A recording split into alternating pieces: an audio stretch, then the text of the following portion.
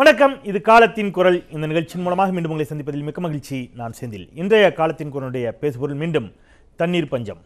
அப்படி ஒன்று இல்லவே இல்லை. அது வதந்தி என்று அமைச்சர் சொல்லிய நிலையில் எதிர்க்கட்சிகள் இதை திட்டமிட்டு இந்த பிரச்சனையை பெரிதாக்கிறார்கள்.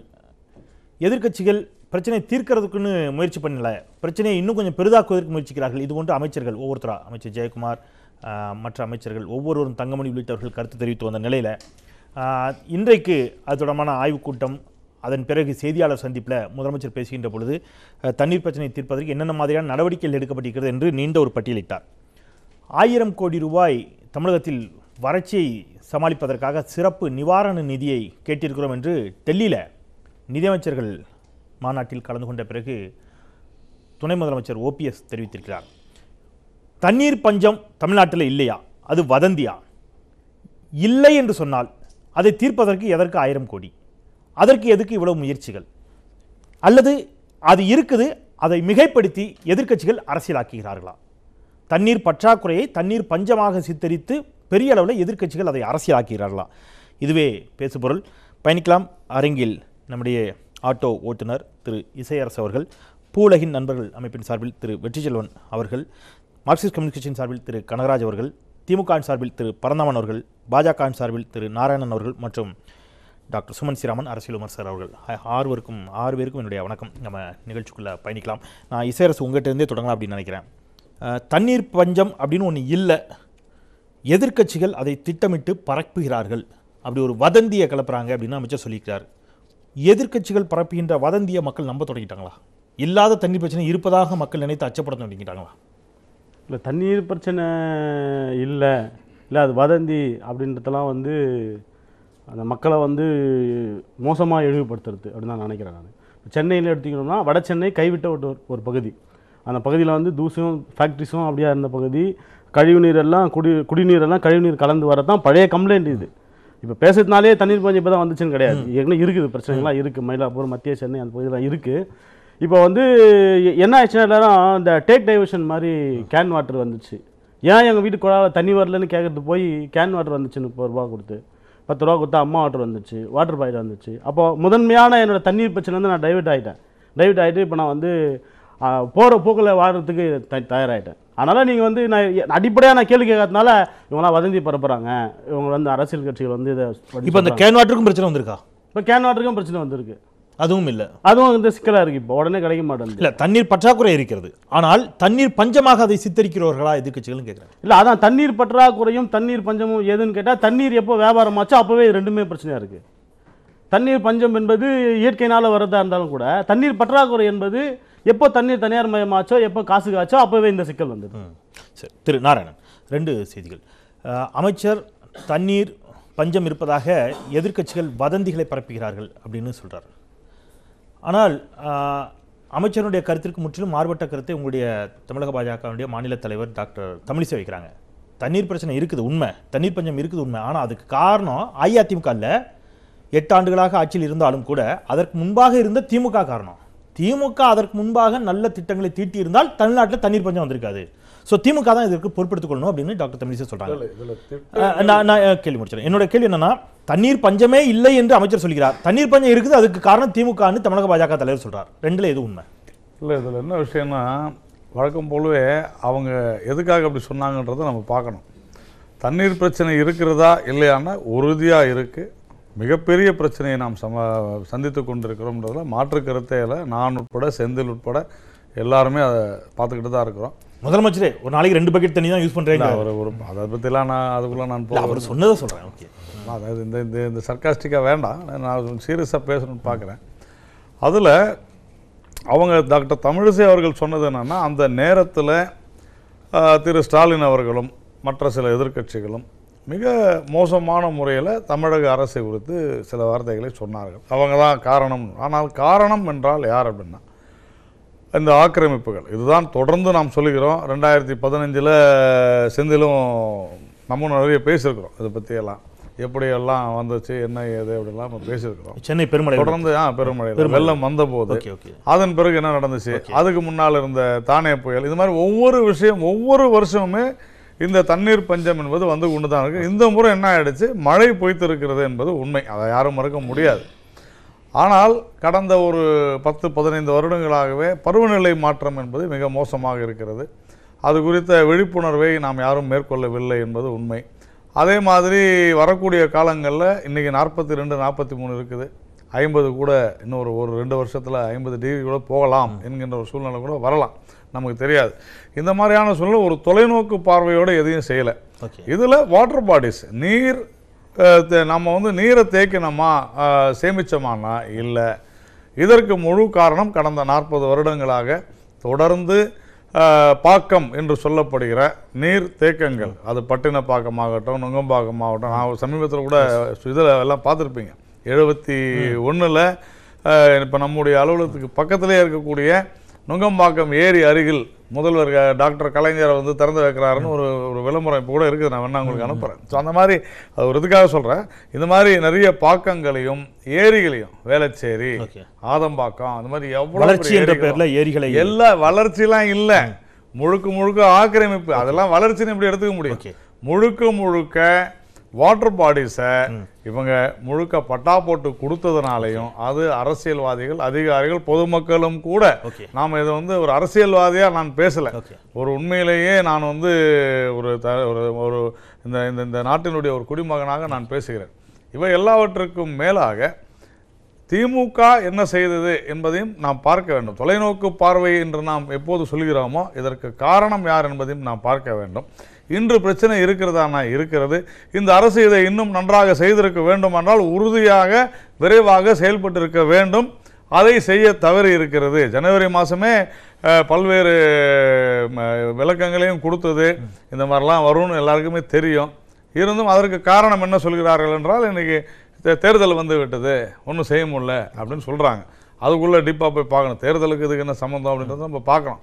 ஸோ இந்த மாதிரி பல்வேறு விஷயங்கள். இந்த நேரத்தில் அரசு நடவடிக்கை எடுக்கிறதானா ஒரு கொஞ்சம் எக்ஸாசரேட் பண்ணுறாங்கன்னு தான் நான் ஃபீல் பண்ணுறேன் முதலமைச்சருடைய அந்த தெருவுக்குள்ளே ஒரு டேங்கர் போகிறத காமிக்கிறாங்க. உடனே இது வந்து மக்கள் எங்கள் இப்போ எங்கள் தெருவில் கூட நான் கூட அஹ், வேணா யார் வேணாலும் வந்து பார்த்துக்கலாம். எங்கள் வீட்டில் பம்பு கிடையாது. ஆனால் ஹவுசிங் போர்டு இருக்குது பக்கத்தில். அவங்க வந்து பம்ப் போட்டு பக்கத்து வீட்டில் எடுக்கிறாங்கன்ட்டு நாங்கள் செலவு பண்ணி போட்டிருக்கிறோம். அந்த எடுத்துகிட்டு போகிறாங்க டேங்கர் லாரியும் தினம் வருது. ஆனால் அப்படிப்பட்ட ஒரு சூழ்நிலை தேவையான தேவையில்லை. மக்களுக்கு பைப்டு வாட்டர் போகணும். அப்போ இந்த அரசாங்கம் மெத்தனமாக செயல்பட்டிருக்கிறதா என்றால் ஆமாம் மெத்தனமாக? செயல்பட்டிருக்கிறது. இந்த ஒரு ரெண்டு மூணு மாசத்துல உறுதியா இன்னும் கொஞ்சம் முயற்சி எடுத்திருக்க முயற்சிகள்? இல்ல அதாவது வருமுன் காப்போம் என்கிற அடிப்படையில அவங்க செஞ்சிருக்கணும் தான் நான் அது சொல்றேன். என்ன மாதிரி நாராயணன் இப்போ இந்த ஒரு ஆறு ஏழு மாசத்துக்கு முன்னாடி இப்போ பிளான் பண்ற வாட்டர் பாடிஸை பிளான் பண்ணிருக்கலாம். ஒரு வருஷமாவே பிளான் பண்ணிருக்கலாம். பண்ணல. செல்வி ஜெயலலிதா இல்ல நான் என்ன சொல்ல அதை விட்டுருங்க. நான் சொல்றேன் இந்த ஒன் இயராவே எல்லாருக்குமே தெரியும்.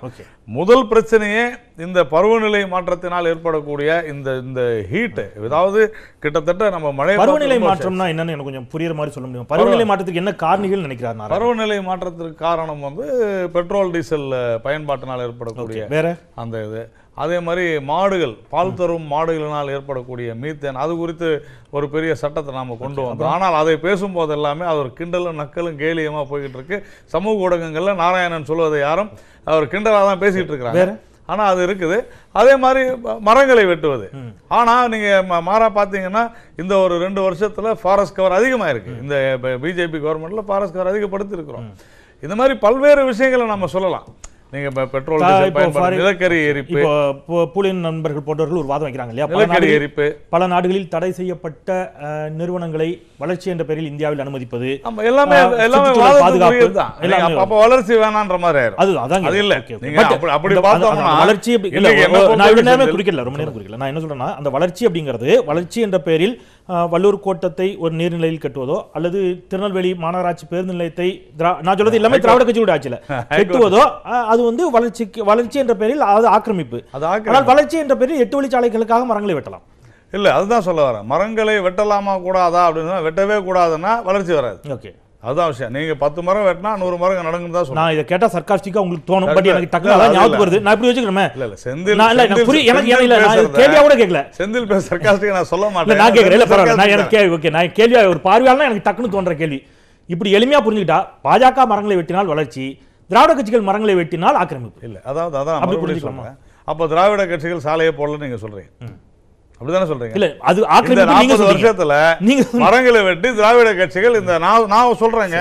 திராவிட கட்சி ஆட்சியில நிறைய சாலைகள் போட்டார்கள் அப்படின்னு நான் சொல்றேன். நீங்க அது இல்லைன்னா சொல்லுங்க. பிஜேபி தமிழ்நாட்டுல சாலைகள் போட்டதெல்லாம் பாஜகன்னு சொல்லுங்க. நான் ஓகேன்னு ஒத்துக்கிறேன். நீங்க சொல்றீங்களா? மரங்களை மரங்களை வெட்டல. வெட்டி. சாலைகளை வெட்டல. மரங்களை வெட்டி. நான் ரொம்ப. வெட்டி எவ்வளவு மரங்களை வெட்டி? திராவிட கட்சிகள் சாலைகள் போடலையா? நீங்க சொல்லுங்களேன் என்ன? என்னங்க இது? இது இதெல்லாம் வந்து. புள்ளி உரம் வச்சிருப்பாங்க உங்களுக்கு. என்ன சார்? சொல்லுங்க. நாடு முழுக்க ஸ்டேட் ஹைவேஸ் இருக்குது. மரங்களை வெட்டி தான் ஸ்டேட் ஹைவேஸ் போடுவாங்க. அதுதான் நான் மறுபடியும் சொல்றேன். எந்த ஒரு ஆட்சியாக இருந்தாலும் அரசியலா பார்க்காதீங்க. என்ன பார்க்கணும். ஒண்ணு மிக முக்கியமான ஒரு விஷயம். ஆறு பேர் இருக்காங்க. முடிச்சிரு அதுவும் டிஸ்கஷன் வரட்டும். அதுதான். ஒரே ஒரு இதுதான். இன்னைக்கு இருக்கக்கூடிய விஷயங்கள்ல தயவு செஞ்சு தமிழ்நாட்டினுடைய நலன் அரசியல் பேசல அரசியல் பேசல அரசியல் பேசல. தமிழ்நாட்டின் நலன் கருதி திரு ஸ்டாலின் அவர்களும் தினகரன் அவர்களும் நான் குறிப்பாக அதை சொல்கிறேன் இன்று தமிழகத்தில் இருக்கக்கூடிய மது ஆலைகளை மூட வேண்டும் என்று கோரிக்கை வைக்க வேண்டும். அதே போல தமிழக அரசு மது ஆலைகளை ஒரு மாதத்திற்கு இந்த இது தண்ணீர் தட்டுப்பாடு தீரும் வரையில மூட வேண்டும். நாங்கள் மதுவை வாங்க மாட்டோம் அப்படின்னு சொல்லணும்னு என்னுடைய கோரிக்கை நான் ஓகே ஓகே இந்த தண்ணி பஞ்சம் இருக்கும்போது அந்த தண்ணிக்கு மட்டும் பஞ்சம் இல்லாம போடுதுங்கிற கவலையோட அவர் அந்த வாதத்துங்களை வைக்கிறாரு. கனகராஜ் உங்களுடைய பார்வையில எதிர்க்கட்சிகள் இதை வந்து பிரச்சனையாக்குறீங்க. இன்னைக்கு ஜெயக்குமார் அதான் சொல்றாரு. எதிர்க்கட்சிகள் தான் இதை வந்து பிரச்சனை பண்றாங்க. அவங்க பிரச்சனை தீர்க்கணும்னு நினைக்கல. பிரச்சனையை பெரிதுபடுத்தணும்னு நினைக்கிறாங்க அப்படிங்கிறாரு. ஸோ இல்லாத தண்ணீர் பஞ்சத்தை ஒரு வதந்தியா நீங்க கிளப்பி அதை பெருசாக்கிறீங்களா இல்லை இல்லை. நீங்கள் சொல்லும்போது சொன்னீங்க. இல்லாத தண்ணீர் பஞ்சத்துக்கு ஆயிரம் கோடி எதுக்கு? எதிர்க்கட்சிகள் சொல்லிட்டாங்க. ஆயிரம் கோடினா ஒன்று அதை தீர்க்கறதுக்காக இருக்கணும். இல்லைன்னா வேற எதுக்கோ காரணத்துக்கு அவங்க கேட்கணும். அதை எதற்காக அதை ஒதுக்கீடு செய்ய போகிறார்கள் அப்படிங்கிறதுல உங்களுக்கு மாறுபட்ட பார்வை இருக்கு. எனக்கு பார்வை இல்லை. ஆயிரம் கோடி கொடுத்தாலும் இன்னைக்கு தமிழ்நாடு முழுவதும் அதை செட்டில் பண்ண முடியாதுன்னு நான் நினைக்கிறேன். இப்போ இருக்க தண்ணீர் பிரச்சனையை தீர்ப்பதற்கு அது போதுமானதல்ல என்று நான் நினைக்கிறேன். ஆனால் நான் என்ன கேட்குறேன்? ஆயிரம் கோடி கேட்கிற அளவுக்கு இதுக்கு முன்னால் தமிழக அரசு என்னைக்காவது ஆயிரம் கோடி கேட்டிருக்கா? தண்ணீர் பிரச்சனையை தீர்ப்பதற்கு எனக்கு ஆயிரம் கோடி கொடுங்க அப்படின்னு தமிழக அரசாங்கம் கேட்டிருக்கா? கேட்டதே இல்லையா. தண்ணி பிரச்சனைக்காக மட்டும் கேட்கல வறட்சி எல்லாம் சேர்த்து கேட்குறாங்க. ஓகே. இன்னொன்று யாகம் எதுக்காக பண்ணீங்க? தண்ணி இல்லைன்னு உங்களுக்கு அப்போ தெரிஞ்சது இல்லை அப்போ அப்போவே இதுக்கான நடவடிக்கை எடுத்திருக்கலாம்ல. நீங்கள் சாய்நாத் சொல்கிறது மாதிரி ஏன் எல்லாரும் வந்து வறட்சியை நேசிக்கிறார்கள்னு சொன்ன மாதிரி தண்ணீர் பஞ்சம்னு வந்தால் அது ஒரு வியாபாரம் அது ஒரு பெரிய வியாபாரம். ஸோ அந்த சென்ஸில் இருந்து தான் பார்க்குறாங்களே தவிர மக்கள் வந்து பார்க்கட்டும். இப்போ அமைச்சர் சொல்கிறாரு முதலமைச்சர் சொல்கிறாரு இது வந்து பஞ்சமே கிடையாது தண்ணீர் பிரச்சனையே இல்லைன்றாரு. அவர் சொன்ன பிறகு அதை மக்கள்லாம் பார்த்துக்கிட்டு இருக்காங்க. இதில் மூணாவது ஆள் வந்து நீங்களும் நானும் இதில் டிபேட் பண்ணி என்ன பண்ண போகிறோம் இது மற்ற ஒரு பொருளாதார பிரச்சனை நேரடியாக கண்ணுக்கு தெரியாத ஒரு பிரச்சனைனா இருக்குது நான் வந்து இருக்கிற பகுதியில் இருக்கவங்க சொல்கிறாங்க எங்களுக்கு குடிக்கிறதுக்கு தண்ணி வெளியே வாங்க வேண்டியிருக்கு குளிக்கிறதுக்கு போதுமானதாக இல்லை. சரி முதலமைச்சரே சொல்கிறாரே இதை குளிக்கிறதுக்கு பயன்படுத்திட்டாங்க துணி துவைக்க பயன்படுத்திட்டாங்க. குளிக்கிறதுக்கும் துணி துவைக்கிறதுக்கும் தண்ணீரை தவிர வேறு எப்படியும் பயன்படுத்துவதற்கு வேற எதுவும் பொருள் இருக்கான்னு எனக்கு தெரியல. அப்போ அதை பயன்படுத்தி தானே. குடி குடி தண்ணீரை அதற்கு பயன்படுத்த வேண்டாம் அப்படிங்கிறது. இப்போ நம்ம கழிப்பறைக்குன்னு பயன்படுத்தக்கூடிய தண்ணீர் வேறா இருக்கும் குடிக்கிறதுக்குன்னு பயன்படுத்தக்கூடிய தண்ணீர் வேறா இருக்கும். ஸோ ஒரு தண்ணீர் தட்டுப்பாடு இருக்கின்ற பொழுது அவர் அப்படியே சொல்றாரு நானே ஒரு நாளைக்கு ரெண்டு பக்கெட் தான் பயன்படுத்துறேங்கிறார். ஸோ ஒரு முதலமைச்சரே நாட்டு நலன் கருதி ரெண்டே பக்கெட் தண்ணீரை ஒரு நாளைக்கு பயன்படுத்துகின்ற பொழுது இந்த நாட்டினுடைய குடிமக்கள் தண்ணீர் சேமிப்போடு தண்ணீர் சிக்கனத்தோடு இருக்கணும்னு ஒரு முதலமைச்சர் எதிர்பார்க்கல என்ன சார் தப்பு? ரெண்டு பக்கெட்டில் நீங்கள் வாழ முடியுமா? முதலமைச்சரை நம்ப மாட்டீங்களா நீங்க? ஆ? நான் நான் நம்புறதா இல்லையாங்கிறது இல்லை என்னைனால வாழ முடியாது. ஒரு குளிக்கிறதுக்கு மட்டுமே ரெண்டு பக்கெட்டு போதாதுன்னு நான் நினைக்கிறேன். இது போக காலை கடன்களை கழிக்கிறது நீங்கள் வந்து பல்லு விளக்குறது முகம் கழுவுறது என்பதெல்லாம் சேர்த்து அது ரெண்டு பக்கெட்டு போதும். அவரே ப ரெண்டு பக்கெட் தான் பயன்படுத்துவார்னா நார்மலாக எத்தனை பக்கெட் பயன்படுத்துவார்? அது அவர் சொல்லல. இப்போ தண்ணீர் பஞ்சத்துல ரெண்டு பக்கெட் பயன்படுத்தணும். இதைத்தான் மக்கள் பார்க்கணும்னு நான் கேட்குறேன் நான் வந்து என்ன நினைக்கிறேன்னா ஆயிரம் கோடி வேணும். அதுக்கு ஒரு கூட்டத்தை நடத்தணும். அப்புறம் வந்து யாகம் நடத்தணும். இப்போ நாளைக்கு எல்லா அமைச்சர்களும் யாகம் நடத்த உத்தரவிட்டிருக்காங்க ஸோ அது ஒரு தீர்வா நீங்க பார்க்க மாட்டீங்களா? இல்லை உங்களுக்கு பிரச்சனையே இல்லாத போது எதுக்கு யாகம் நடத்துறீங்க? யாகம் நடத்துறது பிரச்சனை இருக்கதா நீங்க நினைக்கிறீங்கல்ல? இப்போ மனுஷங்க வந்து டாக்டர்கிட்ட போவாங்க மற்றவங்ககிட்ட போவாங்க ஒன்றும் தீர்க்க முடியாத போது கடவுளே நீயாவது காப்பாற்றணும் போவாங்க. பெரிய பிரச்சனையாக இருந்தா. எதுவுமே இல்லாத போது ரெண்டாவது முறை நீங்கள் எதுக்காக யாகம் நடத்துறீங்க? உங்களுக்குலாம் பிரச்சனை இருக்குல்ல? தண்ணி பிரச்சனை? உங்க பிரச்சனை இல்ல, தீர்க்கறதுல இல்ல இல்ல அப்படி இல்லாத போது அப்போ இல்லாத பிரச்சனைக்கு தான் ஆயிரம் கோடி கேட்டிருக்காரா? நாங்கள்லாம் கேட்குறோங்கிறதுக்காக இவர் ஆயிரம் கோடி கேட்டுவாரா சரி. வறட்சி இருக்கு. வறட்சிக்கும் முதல்ல வறட்சிங்கிறத ஒத்துக்கொள்ள வேண்டும் அரசு அப்படிங்கிறீங்க. எது? வறட்சி இல்ல, இருக்கிறது அப்படிங்கிறத இதை யாரும் ஒத்துக்கொள்ள வேண்டிய அவசியம்லாம் கிடையாதுங்க. ப்ராப்ளம் என்னன்னா தமிழகம் முழுவதும் பிரச்சனை இருக்கிறது என்று மக்கள் கருதுகிறார்கள். அது மாயை என்று முதலமைச்சர் கருதுகிறார். இப்போ நண்பர் நாராயணன் சொல்லும்போது ஒரு விஷயத்த சொன்னார். ஆக்கிரமிப்பு அப்படிங்கிற வார்த்தையை இதோட தொடர்புபடுத்தி சொன்னார்.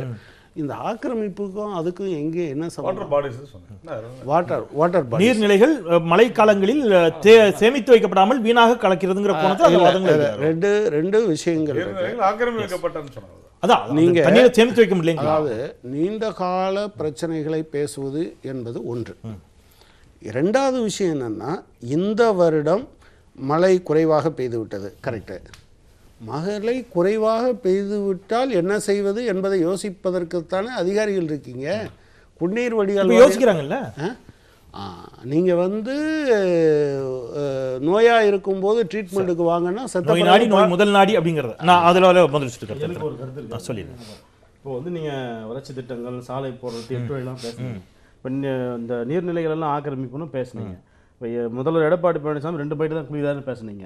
இந்த நகர்ப்புற திட்டமிடலுக்காகவே நகர்ப்புற வளர்ச்சிக்காகவே சென்னையில இருந்து நாற்பது கிலோமீட்டர் போட்ட சேரி மக்கள் இருக்காங்க. பெரும்பாக்கம் கண்ணகி நகர் செம்மஞ்சேரி. பெரும்பாக்கத்துல இருபத்தி ரெண்டாயிரம் குடும்பங்கள் அடைச்சு வச்சிருக்காங்க. அங்க ஒண்ணு விட்டு ஒரு நாளைக்கு ரெண்டு குடம் தண்ணி தான் கொடுக்குறாங்க. ஒண்ணு விட்டு ஒரு நாளைக்கு ரெண்டு குடம் தண்ணி தான் கொடுக்குறாங்க. அந்த அந்த நீ இப்போ நம்ம எல்லாமே இந்த இந்த வெளிச்சத்துல நகர்ப்புறத்துல பேசின்னு இருக்கிறோம். சென்னைக்கு வெளியே ஒரு நாடு இருக்குது ஒரு நகரம் இருக்குது. இந்த நகரத்துக்காக பலியிடப்பட்ட மக்கள் இருக்கிறாங்க. அங்க குடி தண்ணீரே இல்ல. ஒரு பகுதியில் ஒரு பில்டிங்ல வந்து ரெண்டு மாசமா தண்ணியே இல்ல. கேட்டா எட்டு மாடிக்கு தண்ணி ஏறாதுன்னு சொல்றாங்க. குடிசை மாட்டு வாரியத்துல. அது இருக்கிற மீதி மக்களுக்கு வந்து ரெண்டு குடம் தண்ணி தான் கொடுக்குறாங்க. அப்போ நாங்கள்லாம் மக்கள் இல்லையா? இப்போ எங்கள் பகுதியெலாம் வந்து எந்த அமைச்சரும் கிடையாது எந்த வாட்டர் பாடிஸும் கிடையாது டிபார்ட்மெண்ட்டே இல்லை. எங்களுக்கு வந்து அங்கே முதலமைச்சர் யாருன்னு பார்த்தா குடிசை மாற்று வாரிய ஆஃபீஸர் தான். ஓகே. அப்போ வந்து எங்களை பற்றி நீங்கள் எப்போ பேசுவீங்க? ஓகே. வடசையில் இருக்கிற பிரச்சனை மக்கள் எப்போ பேசுவீங்க? வளர்ச்சினா எல்லாருக்கும் ஒன்றா இருக்கணும்ல. ஓகே. அந்த ஃபீலிங் தண்ணி பிரச்சனைக்கு நீங்க? அங்கேயும் தண்ணி பிரச்சனை இருக்கு. டாஸ்மாக் எத்தனை இருக்கு அந்த பகுதியில? அதான் ரெண்டு டாஸ்மாக் வச்சிருக்காங்க. ஓகே. திரு சுமத் இந்த பிரச்சனைக்கு பிரச்சனையே இல்லை என்று முதலில் வைக்கப்படக்கூடிய வாதம் எவ்வாறு ஏற்புடைய வாதம்? ஒன்று பிரச்சனை இருக்குது என்று ஒத்துக்கொண்டால் அது ரொம்ப லேட்டாக அதை வந்து அக்செப்ட் பண்ணிக்கிட்டு அக்னாலேஜ் பண்ணிக்கிறதுனால என்ன லாபம் இருக்க போகிறது? கேரளா கேரளா முதலமைச்சர் தண்ணீர் தருகிறோம் என்று அவர் ஒரு ட்வீட் போடுறாரு. ஆனா இங்கிருந்து முறையான பதில் வரலைங்கிறாரு. வேலுமணி அதை மறுக்கிறார். இல்லை நாங்க அப்படி சொல்லலை. இன்றைக்கும் கூட என்ன சொல்றாங்க? கேரளாவிலிருந்து உடனடியாக தண்ணீர் தந்தால் மகிழ்ச்சி என்ற டோனுக்கு அவங்க போல. ஒரு நாள் ஒரு நாள் தந்தீங்கன்னா போதாது.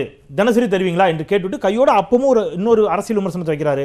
முல்லை பெரியாறு அணையினுடைய உயரத்தை நாங்க கூட்ட சொன்னோமே அதை நீங்க கூட்டினீங்களா என்று கேட்டால் சோ இது அரசியல் பார்வையோடே அரசும் அணுகுகிறதா முதல்ல வந்து பிரச்சனை இருக்கிறதா என்றால் அதற்கு இது பார்க்குற மக்களுக்கே தெரியும் பிரச்சனை இருக்கிறது அப்படின்னு. அரசு எவ்வளவு முறை அதை மறுத்தாலும் பிரச்சனை இருக்கிறது. பிரச்சனை எவ்வளவு பெருசு அப்படிங்கிறது தான் நம்ம டிபேட் விவாதமே தவிர பிரச்சனை இல்லைங்கிறது யாருமே சொல்ல மாட்டாங்க.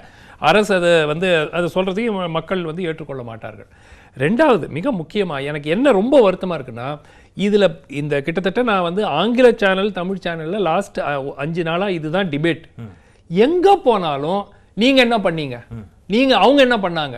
இதுலயே தான் போயிட்டு இருக்கு இப்பவும் பாத்தீங்கன்னா இன்று இப்ப இப்ப நம்ம பண்ற டிபேட்ல கூட யாராவது ஒருத்தர் வந்து நம்ம அடுத்தது என்ன செய்யணும்? உடனடியாக நடவடிக்கை அரசு ஒன்று ரெண்டு மூன்று நான்கு இந்த நான்கு விஷயத்தை செய்யணும். தொலைநோக்கு திட்டங்கள் ஒன்று ரெண்டு மூணு. இந்த திட்டங்களை செய்யணும். அந்த மாதிரி ஒரு சொல்யூஷன்ஸ் வரவே மாட்டேங்குது. எல்லாரும் திருப்பி திருப்பி தூர் வாரணும். இது என்கரேஜ்மெண்ட் எல்லாம் எடுக்கணும். ஆக்கிரமிப்புகளை அகற்றணும். கரெக்ட் பட் இது நாற்பது வருஷமா நடந்த ஆக்கிரமிப்பு. இதே அரசுகள் இருந்த ஆக்கிரமிப்பு. நிச்சயமா வந்து சி ஒரு அதிமுக பொறுப்பா திமுக பொறுப்பானா கடந்த நாற்பது ஆண்டு காலத்துல நாற்பத்தி ரெண்டு ஆண்டு காலத்துல முப்பது ஆண்டு காலம் அதிமுக ஆட்சி. ஸோ ப்ரொபோர்ஷனேட்டா எழுபது பர்சன்ட் அவங்க அவங்க ரெஸ்பான்சிபிலிட்டி தான். திமுக ரெஸ்பான்சிபிலிட்டி ஜீரோன்னு சொல்ல முடியாது. அவங்களுக்கும் ஒரு பொறுப்பு இருக்கு. பட் நிச்சயமா வந்து யார் ஆட்சி காலம் அதிகமா இருந்திருக்காங்க அவங்களுக்கு தான். கடைசி எட்டு ஆண்டு காலம் ஆட்சியில இருக்கிறாங்க. சி என்ன நான் என்ன கேட்குறேன்னா நீங்க ஏற்கனவே அறிவிச்ச திட்டங்கள்.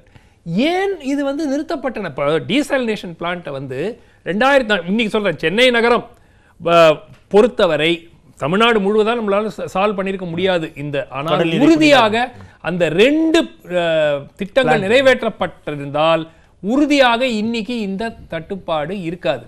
ரெண்டாவது மிக முக்கியமா ஒரு கேள்வி.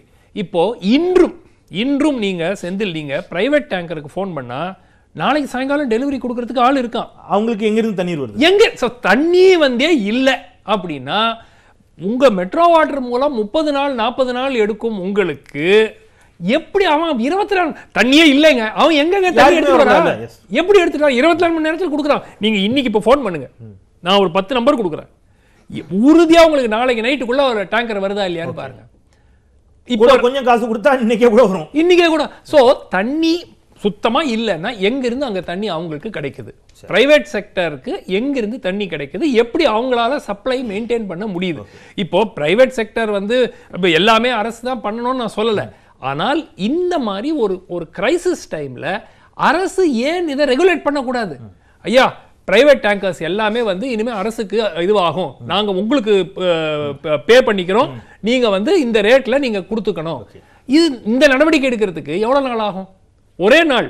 இது ஒரு உத்தரவு தான். இட்ஸ் ஒரு ஒரு கவர்மெண்ட் ஆர்டர் பாஸ் பண்ணி பிகாஸ் ஆஃப் அக்யூட் கிரைசிஸ் அடுத்த நான் முப்பது நாளைக்கு இந்த பிரச்சனை தீரும் வரை இந்த டேங்கர்ஸ் எல்லாம் they will run on contract to government government இவ்வளோ இது பண்ணுவாங்க. முடிஞ்சு போச்சு. ஸோ அட்லீஸ்ட் மக்கள் ஆறாயிரம் ரூபாய் எட்டாயிரம் ரூபாய் கொடுக்கறது அது ஒரு பக்கம். ரெண்டாவது ஐயா சொன்னது ரொம்ப வேலிட் பாயிண்ட் நம்ம வந்து திருப்பி திருப்பி வந்து மிடில் கிளாஸ் மக்கள் படுற பிரச்சனையை பற்றியே பேசிட்டு இருக்கோம். ஆனால் ரெண்டு குடம் நீங்க ஒண்ணும் நீங்க அவர் சொல்றது Semmancheri. Greams road Apollo hospital இருக்குல்ல அதுக்கு எதிர்க்க போய் பாருங்க.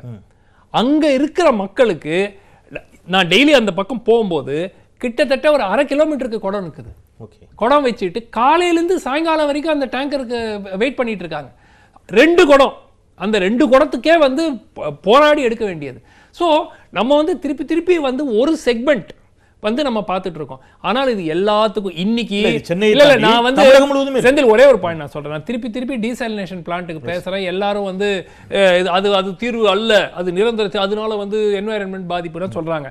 இன்னைக்கு நூத்தி எண்பது மில்லியன் லிட்டர் மெட்ரோ வாட்டர் ஐநூறு கொடுக்குறாங்கிறாங்க. ஐநூறு கொடுக்குறாங்களான்னு யாருக்கும் தெரியாது. நூத்தி எண்பது மில்லியன் லிட்டர் இன்னைக்கு தினமும் வருது அந்த டீசல் ரெண்டு டீசாலினேஷன் பிளான்ட்னால தான் சென்னை உயிரோட இருக்கிறது அது பாதி காரணம் டீசாலினேஷன் பிளான்ட் மீதி காரணம் வீராணம் திட்டம். புரியுதுங்களா? அதை வந்து மறுத்துக்கிட்டு திருப்பி திருப்பி வந்து தூர் வாராதீங்கன்னு யாரும் சொல்ல தூர் வாருங்க ஆக்கிரமிப்பை அகற்றுங்க புது நீர்நிலைகளை உருவாக்குங்க யாரும் வேணாம்னு சொல்லல. ஆனால் அதோட வெறும் அதை வந்து வச்சு அது வந்து நிரந்தர தீர்வு அல்ல. இல்ல இப்ப நீங்க கடல் நீரை குடிநீராக்கும் திட்டத்தில் அது போதாம இருக்கிறது அதுல இன்னும் வேகம் இல்லைன்னு சொன்னா அதுக்கு என்ன காரணம்? அதாவது முதல்ல அதுல எங்க தவறு இருக்குன்னு தவறு நிச்சயமா வந்து பியூரோக்ராட்டிக் டிலேஸ் தான். அதாவது ஒரு அந்த நூத்தி ஐம்பது million litre per day plant என்ன ஆச்சு? கோர்ட் கேஸ்ல போச்சு. கோர்ட் கேஸ்லயே கிட்டத்தட்ட ஒரு வருஷத்துக்கு மேல அது கோர்ட்ல ஒரு வெண்டர் வந்து இன்னொரு வெண்டருக்கு அகேன்ஸ்டா அது கோர்ட் கேஸ்ல. சி இதெல்லாம் வந்து ப்ரையாரிட்டி அந்த அந்த அந்த one fifty million litre plant construction டைமே டூ இயர்ஸ் தான். அது கட்ட வேண்டிய கால இதுவே வந்து ரெண்டு வருஷம். ரெண்டாயிரத்தி பதினஞ்சுல அறிவிக்கப்பட்டது. ரெண்டாயிரத்தி பதினாறுல ஆரம்பிச்சிருந்தா இன்னைக்குள்ள அது முடிக்கப்பட்டு mean, நூறு நூத்தி ஐம்பது மில்லியன் லிட்டர் பர் டே இதுக்கு ஆக்மெண்ட் ஆயிருக்கும். நானூறு மில்லியன் லிட்டர் அது என்வாயரன்மெண்டல் கிளியரன்ஸ்ல மாட்டிக்கிச்சு. அதுக்கப்புறம் அது என்வாயரன்மெண்டல் கிளியரன்ஸ்ல அதை ரீ இது பண்ணி அதுக்கு அது அதுல இருக்க நான் என்ன சொல்றீங்க. அதுவும் கன்ஸ்ட்ரக்ஷன் டைம் மூன்றரை வருஷம் தான்.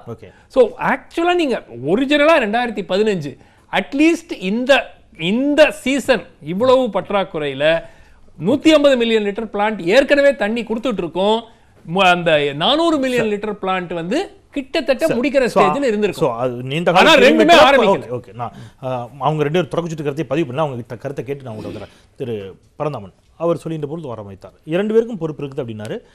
திமுகவுக்கு என்ன பொறுப்பு இருக்குதுங்கிறத அவர் வைத்தார். அஃப்கோர்ஸ் இங்கே அஇஅதிமுக தரப்பு இல்லை. திமுகவிற்கு என்ன பொறுப்புன்னு அவர் சுட்டி காட்டினார் இல்லையா அதற்கு நீங்கள் பதில் அளிக்கலாம். நிச்சயமா. அதாவது வந்து நீங்க கேள்வி வேற கேட்டிருந்தாலும் கூட நீங்க அதுக்கு பதில் நாராயணனுடைய வருவீங்கன்னு எனக்கு கேள்விக்கு தெரியும். பதிலோட தான் என்னுடைய பழகிட்டோம்ல, அதனால தான் நானே ஒரு விஷயத்தை நான் ஒத்துக்கிறேன். அதாவது வந்து மக்களுடைய பிரச்சனைகள்ல இப்ப சுமன் ஸ்ரீராமன் சார் வந்து ஏறக்குறைய நான் சொல்ல வேண்டிய அல்லது கருத்துக்கள் நான் சொல்ல முற்பட வேண்டிய கருத்துக்கள் அவர் சொல்லிட்டதுனால I don't want repeat that ஒரு விஷயம் சார் ஸ்ட்ரைட்டாகவே பாயிண்ட்டுக்கு வரேன் சார் இப்போ இருக்கிற இஷ்யூஸை அரசியல் ஆக்குறாங்களா திராவிட கட்சிகளுக்கு அப்படின்னும் போது அதிமுக திமுகவுக்கு பொறுப்புகள் இருக்கா? அது பிஜேபிக்கு உரிய ஒரு பாணியில வந்து இதுக்கு முன்னாடி செஞ்ச அரசாங்கங்கள் என்ன செஞ்சது? அப்படின்னு சொல்லி இவங்க கேள்விகள்லாம் கேட்டுட்டு இருக்கிறாங்க நான் ஒரே ஒரு விஷயம் சொல்றேன். அரசுகள் எதுவாக இருந்தாலும் தொலைநோக்கு திட்டத்திற்கும் உடனடி தேவைக்கான திட்டத்திற்கும் அதற்கான திட்ட வடிவமைப்பு அதற்கான செயல்பாடுகள் இருக்கணும். அது எல்லா அரசாங்கங்களுக்கும். திமுகவுக்கு என்ன பங்கு இருக்கு? திமுக செஞ்சுதா அப்படின்ற கேள்விக்கு நான் இந்த நேரத்தில் அரசியல் பேச முடியாதுன்னு சொல்லிட்டு புறந்தள்ளிட்டு போக முடியாது. அல்லது சொல்றது மூலியமாக அதிக நேரம் நான் எடுத்துக்க கூடாது. ஒரே விஷயம். சுமன் சார் சொன்னது மாதிரி இன்னைக்கு சென்னையில் இருக்கக்கூடிய குடிநீருக்கு உயிர் கொடுத்து கொண்டிருப்பது கடல் நீரை குடிநீராக்கும் திட்டம்னு ஒன்று சொன்னாங்க இல்லையா? இந்த ரெண்டு திட்டத்தையுமே கலைஞர் காட்டுப்பள்ளியிலையும் நெம்மேலியிலையும் கொண்டு வந்த திட்டம். ஒன்று சொல்கிறேன் சொல்கிறேன் இருங்க ஒரு சொல்கிறேன் இல்லை ஒரு சொல்ற கேளுங்க. இல்ல இல்ல இல்ல ஒரு நிமிஷம் நான் சொல்றேன். அந்த திட்டங்களை அவரே தான் போய் தொடங்கி வச்சா நாங்களாம் வச்சது போனோம். ஒரு நிமிஷம். ரெண்டு விஷயம் சார். வீராணம் திட்டத்தை திராவிட முன்னேற்ற கழக அரசாங்கம் கொண்டு வந்தது. அதிமுக கிடப்பில் போட்டு எத்தனை ஆண்டுகளுக்கு பிறகு பிறகு புதிய வீராணம் திட்டம் வந்துச்சு? ஆனால் அதிமுக ஜெயலலிதா அட்மினிஸ்ட்ரேட்டிவ் சாங்ஷன் கொடுத்த கடல் நீர் குடிநீராக திட்டத்தை திமுக கொண்டு வந்து செயல்படுத்துது. இதுதான் திமுகவுக்கும் அதிமுகவுக்கும் உள்ள வித்தியாசம். இதை விட அதிகமான வேறுபாடுகள் நான் போகவில்லை. ஒன்று கடந்த முப்பது ஆண்டுகளாக இது போன்ற ஒரு வறட்சி கிடையாது.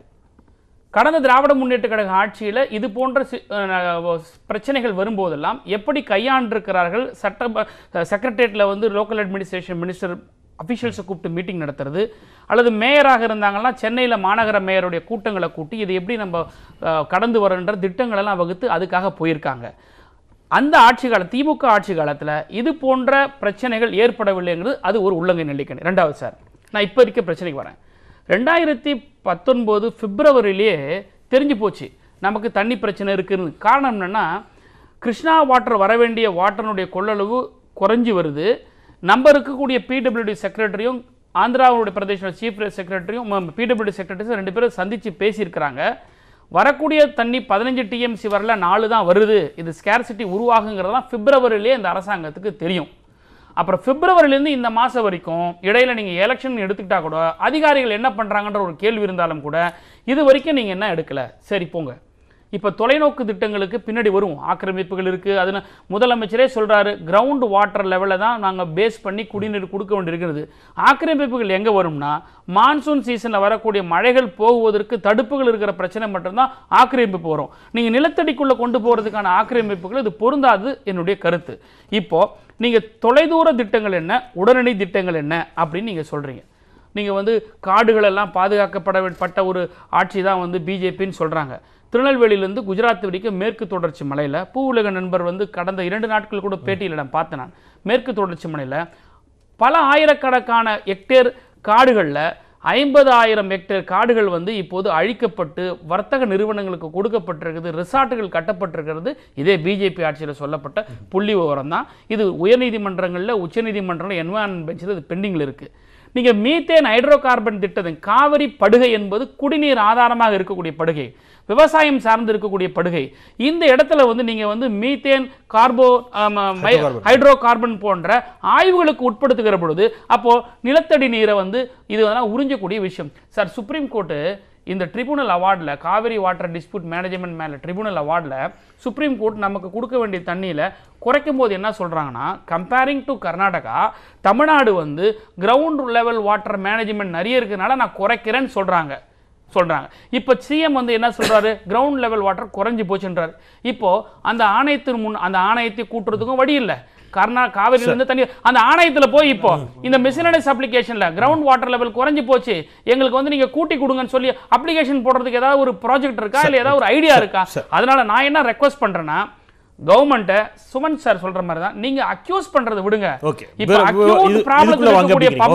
வந்து நீங்க வெளியில கொண்டு வாங்க. அதுக்கப்புறம் சார் நாங்க கோஆபரேட் பண்றதுனால தான் சார் கடைசியா சொல்லி முடிக்கிறேன். கோஆபரேட் பண்றதுனால தான் நாங்க அரசியல் பண்றது தான் வெறும் டெமான்ஸ்ட்ரேஷன் பண்ணிக்கிட்டு ஆர்ப்பாட்டம் பண்ணிக்கிட்டு ரோடு மறியல் பண்ணிட்டு இருக்கலாம். ஆனா எங்க சட்டமன்ற உறுப்பினர்களும் தேர்ந்தெடுக்கப்பட்ட நாடாளுமன்ற உறுப்பினர்களும் அவங்கவங்க பகுதியில் அவங்க சொந்த காசுல டேங்கர் கொடு- இத இது மாதிரி ஒரு ஒரு ஒரு லாரி தண்ணி ஏடிஎம்கே எம்எல்ஏஸ் எங்கேயா கொடுத்துருக்கலாம் கேட்க சொல்லுங்க. இப்ப என்ன யோகியது இருக்குது? அதிமுக வந்து திமுக மேலயும் அரசியல் மேலயும் குற்றம் சுமத்து. அதுக்கு எதுக்கு நான் பிஜேபி முட்டு கொடுக்கணும்? Sir okay. திருவெட்டி சொல்லலாம் இதில் வந்து அவர் சொல்லின பொழுது புவி வெப்பமயமாதல் உள்ளிட்டவற்றை பற்றி பேசினார். இப்போ எல்லோருமே அஹ், டேங்கர் தண்ணி கொடுக்கறது அப்புறம் வந்து குளங்குட்டைகளை தூர்வாடுறது வாட்டர் கேன்ஸை பிரச்சனை இல்லாமல் கொண்டு போகிறது இதுகளை செஞ்சுட்டா தண்ணி பிரச்சனை தீந்துரும் அப்படிங்கிறது இருக்கு இல்லையா? இன்னும் பத்தாண்டுகள் கழித்து இருபது ஆண்டுகள் கழித்து ஐம்பது ஆண்டுகள் கழித்து இயற்கை என்னவாக இருக்க போகிறது? இங்கே இருக்கக்கூடிய இன்ன பிற உயிரினங்கள் சந்திக்க மனுஷனை விட்டுருங்க. அவர் சொன்னார் செம்மஞ்சரில் மனுஷனை தாண்டி ஆடு மாடு கால்நடைகள் காக்கை குருவிகளினுடைய நிலைமை என்ன? இந்த மாதிரியான என்வரன்மெண்டலோட பார்க்கக்கூடிய ஒரு பார்வை இருக்குது அப்படின்னு சொன்னால் இதற்கு அப்போ வளர்ச்சியும் தேவை. இந்த பக்கம் இதுவும் தேவை. இப்போ இந்த புரிதலோடு அரசுகள் அணுகவே இல்லையா இதை? அப்படி அணுகலை அப்படின்னா எங்கே அந்த சிக்கல் தொடங்குது? எங்கே பிரச்சனை? அதுக்குள்ளே ஒரு பெரிய வணிகம் இருக்கிறது அப்படின்னு ஒரு வார்த்தையை அப்படி சொல்லி கடந்து போனார். அவருக்கு அதில் நேரம் இல்லை விரிவாக பேசுறதுக்கு. அப்போ அதுக்குள்ளே ஒரு பெரிய வணிகம் இருக்கிறதா? என்ன வணிகம் இருக்கிறது? நம்ம வணிகம் இருக்குது கார்னிக் கேபிட்டலிசம் சொல்லக்கூடிய அந்த உற்பத்தி முறை சார்ந்த வணிகம். அதுதான் ரொம்ப அடிப்படையான பிரச்சனை. நீங்கள் இந்த உற்பத்தி முறை இந்த எக்கனாமிக்ஸை மாற்றாமல் ஒன்றும் பண்ண முடியாது. நம்ம ஒரு சஸ்டைனபிள் டெவலப்மெண்ட்டை பற்றி பேசணும். நம்மளுடைய ministry of forest and environment இருந்தது. Ministry of forest and environment and climate change மாதிரி தான் கொள்கை அளவில் இங்கே காலநிலை மாற்றம் இரு- நிகழ்ந்து கொண்டு இருக்கின்றது அப்படின்னு கேட்டோம். ஆனால் அதற்கு பின்பாக ஒரு கொள்கை வந்திருக்கிறதா? இப்போ நாம் எல்லாம் இங்கே பேசிட்டு இருக்கிற எல்லாமே அட்மினிஸ்ட்ரேட்டிவ் ப்ராப்ளம்ஸ் தான் பேசிகிட்டு இருக்கோம். ஆனால் அடுத்த ஒரு இருபத்தைந்து ஆண்டுகள் நீங்கள் கேட்டிங்களா? அடுத்த இருபத்தைந்து ஆண்டு என்னவாக இருக்க போகின்றது? ஏற்கனவே தொண்ணூறு சதவீதமான உயிரினங்கள் அழித்து வேண்டும் இப்போ மனிதனோடு சார்ந்திருக்கக்கூடிய உயிரினங்கள் மட்டும்தான் மிச்சம் மீது இருக்குது. அப்போ இந்த உயிரினங்களும் இன்னும் அழிய தான் போகுது. அடுத்த இருபத்தைந்து ஆண்டுகள் அப்படிங்கிறது ரொம்ப ரொம்ப கிரிட்டிக்கலான பீரியட் நம்ம காலத்தில் நாம் வாழப்போகிற அடுத்த இருபத்தைந்து ஆண்டு காலத்தில் மிகப்பெரிய சூழல் சீற்றங்களையும் பிரச்சனைகளும் நம்ம எதிர்நோக்க போகிறோம் இனிமேல் சைக்ளோன்ஸ் அதிகமாக இருக்க போகுது. இனிமேல் ஹீட் வேவ்ஸ் அதிகமாக இருக்கும் சீ லெவல் ரைஸ் அதிகமாக இருக்க போகிறது கடலினுடைய தட்பவெப்பநிலையில் மிகப்பெரிய ஒரு மாறுதல் ஏற்படுது. உலகில் மாற்று இதனுடைய பாதிப்பு இருக்கலாம். உணவு உற்பத்தியில் அதிகமாக இருக்குது. நியூட்ரிஷன் ஃபுட் நமக்கு இனிமேல் அதிகம் கிடைக்க போகுது. நீர்வளம் குறைய போகுது. இந்த எல்லா பிரச்சனைகளையும் எதிர்நோக்கி கொண்டு அதற்கேற்ற அளவில் இந்த பூமியை தற்போது நிலையில் பாதுகாப்பதற்கான ஒரு தொலைநோக்கு பார்வையோடு கொள்கைகள் திட்டங்கள் இருக்கின்றதா அப்படின்னு கேட்டால் கிடையாது. பத்து வருஷத்துக்கு முன்னாடி இருந்த கிளைமேட் சேஞ்ச் சம்பந்தமான ஸ்கீம்ஸ் தான் நம்ம இன்னைக்கு வரைக்கும் வச்சிருக்கிறோம்.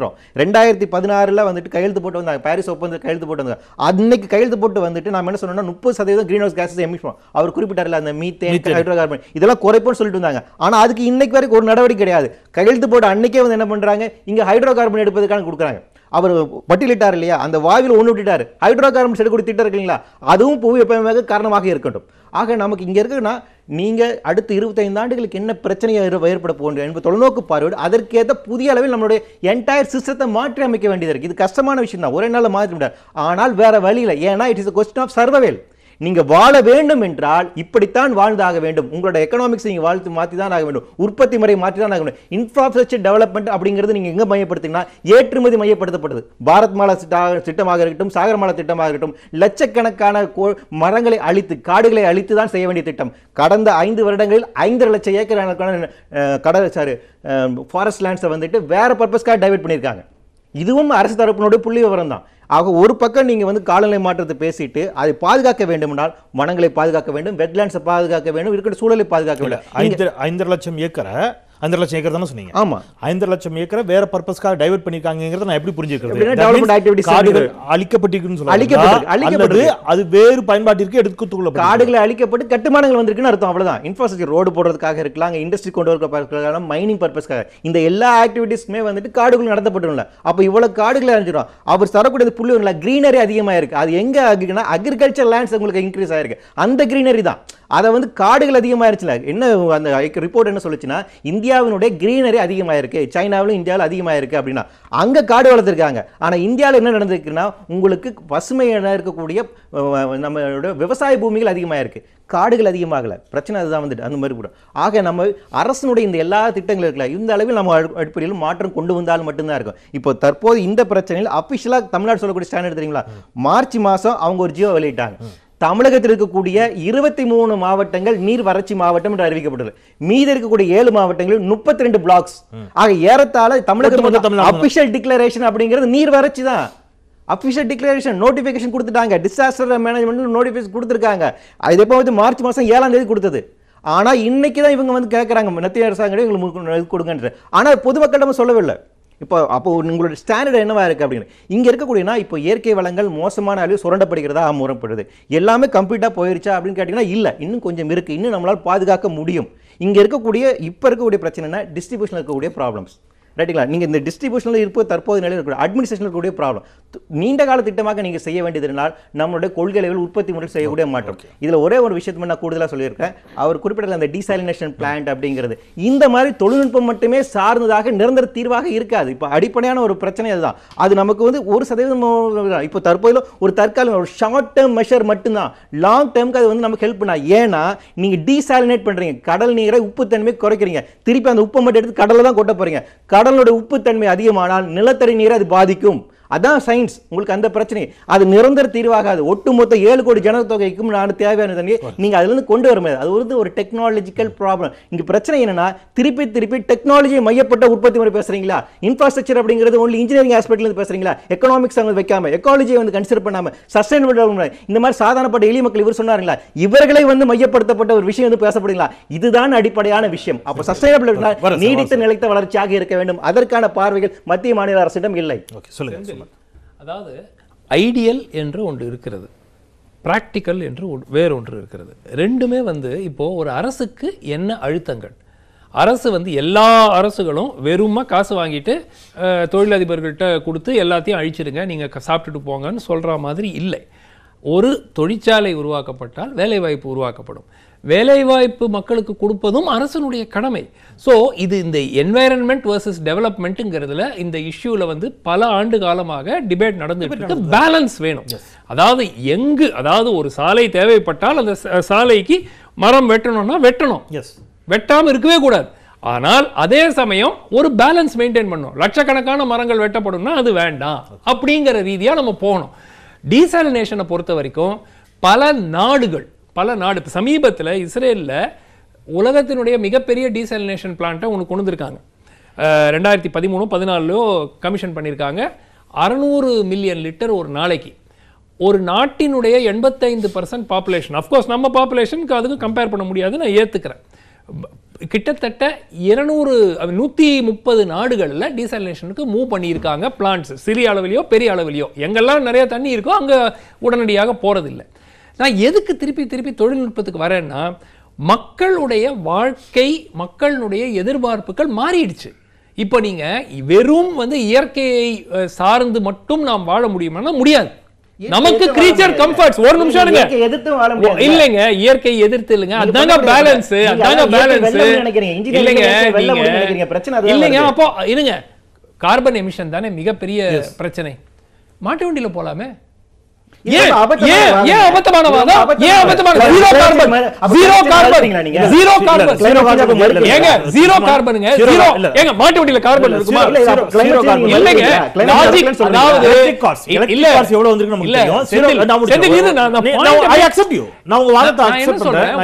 ஒரு மிடில் பாத் வேணுங்க.